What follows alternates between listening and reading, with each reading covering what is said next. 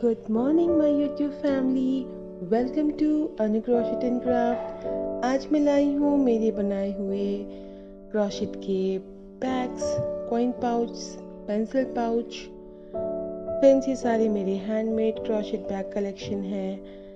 इस वीडियो में एटलीस्ट 25 से अबव ही होंगे ये सारे मेरे क्रॉशेट हैंडमेड पाउच बैग्स पोटली bags coin pouch mobile bags I mean mobile sling आप ये वीडियो देखना और कैसा लगा आपको मुझे ज़रूर बताना।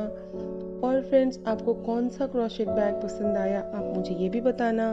फिर मैं उसकी क्रॉशेट ट्यूटोरियल वीडियो लेके आऊँगी। ये है क्रॉशेट की पोटली बैग पोटली बैग की एक फुल ट्यूटोरियल वीडियो मैंने अपलोड की है अपने चैनल पे। उसकी लिंक मैं डिस्क्रिप्शन बॉक्स में दे दूँगी। आप वो देख के क्रोशेट पोटली बैग बना सकते हो बहुत ही इजीली ये एक और पोटली बैग है पर्पल कलर में। इसमें छोटे छोटे पर्ल बीड लगे हुए हैं और ये बहुत ही क्यूट लगता है। एथनिक वेयर के साथ ये कैरी करने में बहुत ही अच्छे से जाता है और आप ये बना भी सकते हो, बहुत इजी है इसे बनाना। और फ्रेंड्स ये जो बैग है, ये है हमारा वही बैग जो मैंने अपने चैनल पे अपलोड किया है क्रॉशेट का पोटली बैग आप इसको देख के बना लेना। मैं लिंक डिस्क्रिप्शन बॉक्स में दे दूँगी आपको। बहुत ही इजी बनाना है और बहुत सुंदर और स्टाइलिश लगता है देखने में। और फ्रेंड्स ये है ग्रैनी स्क्वायर का क्रॉशेट बैग इसकी साइज़ काफ़ी अच्छी है। आप इसे शोल्डर बैग की तरह भी कैरी कर सकते हो हैंड बैग की तरह भी कैरी कर सकते हो। इसमें मैंने ग्रैनी स्क्वायर्स बना के उनको अटैच किया था आपस में और अंदर एक लाइनिंग लगा दी थी। तो ये काफ़ी स्टाइलिश और बहुत ही यूज़फुल चीज़ है।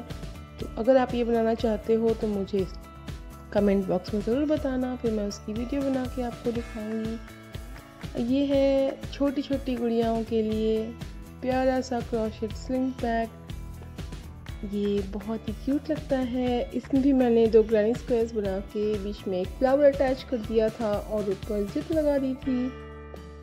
इन सारे क्रॉशेट बैग्स में अराउंड 25-30 बैग्स होंगे। इनमें से मेरे पास दो ही चार बचे हैं। बाकी सारे गिफ्ट्स में चले गए। और जिनको ये गिफ्ट मिलते हैं, उन्हें बहुत खुशी होती है because handmade gifts are lovely market में तो आपको सब चीज़ें मिल जाती हैं, पर हाथ की बनी हुई चीज़ें, चीज़ों की बात ही कुछ और होती है। ये है क्रॉशेट का बैग छोटी बच्चियों के लिए। हमारी छोटी प्रिंसेस को ये बहुत पसंद आता है।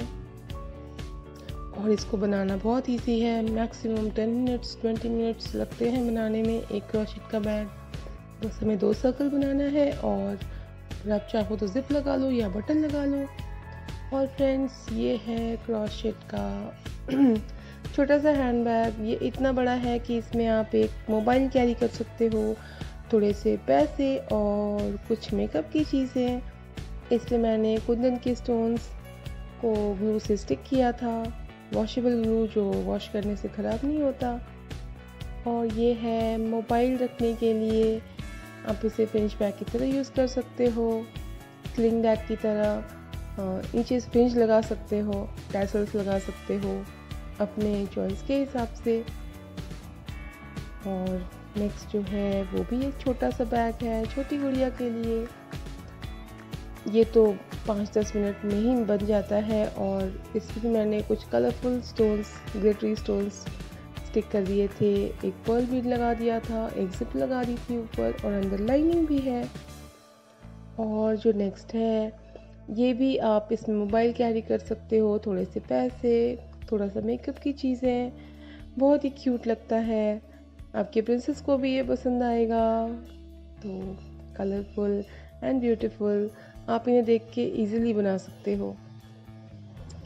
और ये है क्रॉशेट का कॉइन पाउच फ्रेंड्स मैंने एक कॉइन पाउच की ट्यूटोरियल वीडियो अपलोड की है अपने चैनल पे।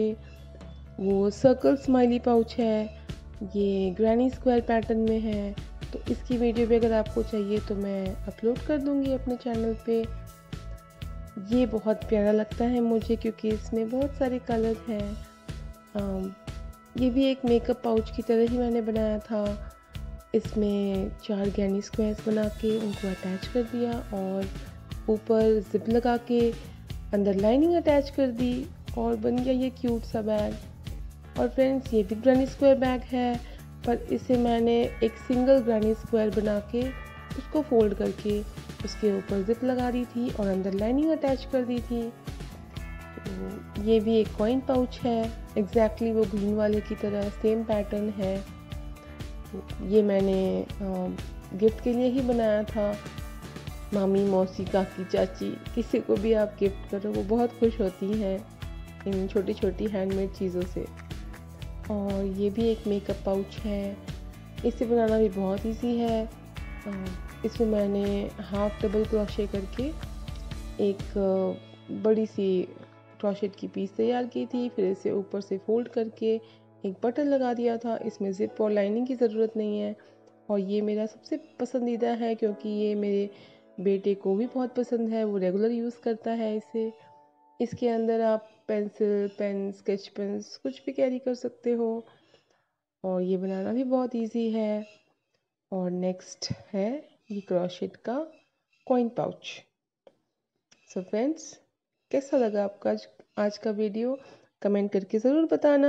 अच्छा लगा हो तो लाइक, शेयर, सब्सक्राइब करना मेरे चैनल को, जो भी नए हैं। और मिलती हूँ आपसे अपने नेक्स्ट वीडियो में।